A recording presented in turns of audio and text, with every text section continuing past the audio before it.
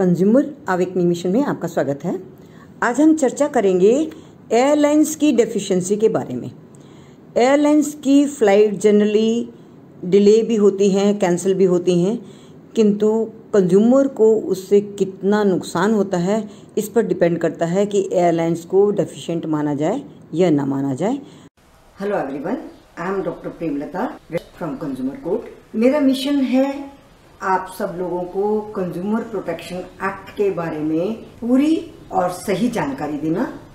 Consumer courts कैसे काम करते हैं किस किस तरह के केसेस कंज्यूमर कोर्ट सुन सकता है, आपको कंज्यूमर कोर्ट से क्या राहत मिल सकती है और खरीदारी करते समय आपको किन किन बातों का ध्यान रखना चाहिए। हमारे इस वीडियो में दी गई जानकारी के अलावा भी आपको कोई जानकारी चाहिए तो आप YouTube के कमेंट बॉक्स में अपने कमेंट्स और अपने प्रश्न लिख सकते हैं।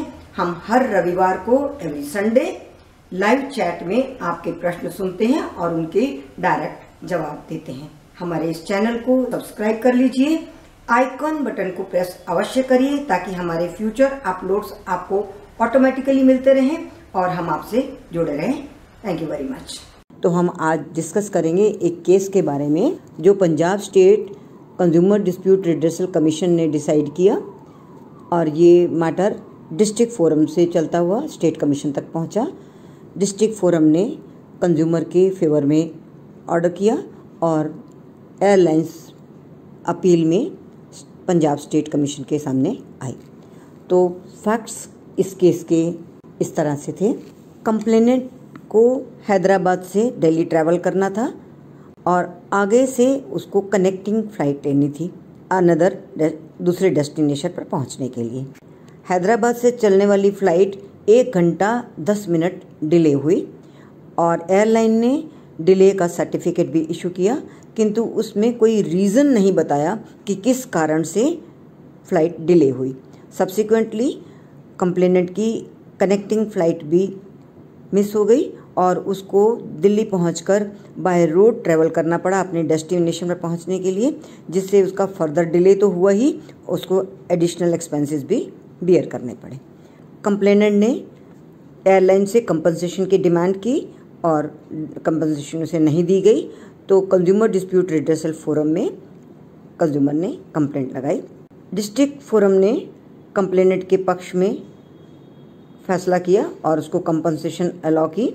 एयरलाइंस इस ऑर्डर के अगेंस्ट अपील में state dispute consumer redressal commission के सामने आई। स्टेट कमीशन के सामने जो मेन प्रश्न था, वो ये था कि क्या डिले का ऐसा कारण था जिससे एयरलाइन को इम्यूनिटी मिले या जिससे वो उनको एग्जामेशन मिल सके कि डिले तो होता ही है।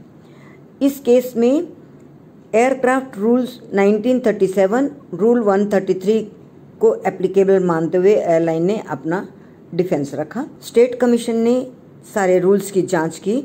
उसमें एक एक्सेप्शन क्लॉज थी रूल 1.4 1.5 जिसमें एयरलाइंस को परमिशन होती है या एयरलाइंस को लाइबल नहीं माना जाता। यदि किसी वेदर के रीज़न से या सिक्योरिटी के रिस्क के रीज़न से या कोई टेक्निकल फॉल्ट हो, उसके कारण या कोई ऐसा कारण जो उसके बियॉन्ड कंट्रोल हो, इस चार स्थितियों में यदि मैटर डिले होता है तो इसके लिए कंपनसेशन परमिटेड नहीं होती। ये एग्जेम्प्टेड होती, ये एग्जेम्पन क्लॉजेज हैं एयरक्राफ्ट रूल्स में। किंतु इस केस में एक तो तो सर्टिफिकेट इशू करने के साथ कोई भी कारण नहीं बताया गया, उसको ब्लैंक रखा गया और कंज्यूमर को एक तरह से पूरी इन्फॉर्मेशन नहीं दी गई। दूसरी बात, ये रीज़न कि 16 और पैसेंजर्स को भी हैदराबाद से दिल्ली जाना था और उनकी प्रतीक्षा करनी थी, इसके कारण फ़्लाइट का डिले होना तो बहुत बड़ी डेफिशिएंसी मानी जाएगी, क्योंकि उन 16 पैसेंजर्स को अकोमोडेट करने के लिए आपने बाकी सारे पैसेंजर्स का जाना, रोका डिले किया और यहाँ तक कि उनकी कनेक्टिंग फ़्लाइट भी मिस हो गई। तो स्टेट कमीशन ने भी कंज्यूमर डिस्प्यूट रिड्रेसल फोरम के ऑर्डर को कंफर्म किया और कंपनसेशन देने के आदेश दिए, क्योंकि ये कारण इन चार कारणों के बीच में नहीं आते थे और एयरक्राफ्ट को इससे छूट नहीं मिल सकती। Thank you very much friends बने रहिए हमारे साथ। हमारे चैनल को यदि अभी तक सब्सक्राइब नहीं किया है तो सब्सक्राइब कर लीजिए। आइकन बटन को ज़रूर दबा दीजिए, ताकि हमारे फ्यूचर अपलोड्स आपको नोटिफाई होते रहें और हम फिर मिलेंगे एक नए ऐसे ही विषय के साथ। थैंक्स